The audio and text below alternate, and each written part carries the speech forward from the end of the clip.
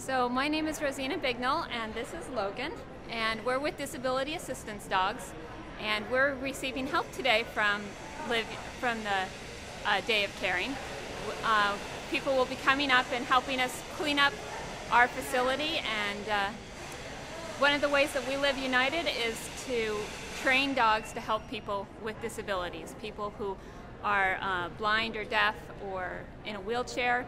We also train dogs that help people in a resident care facility such as a rehabilitation center, uh, physical, even for physical therapy, schools. Um, and this dog, Logan, is will be going to work in a hospital in a stroke rehab uh, unit.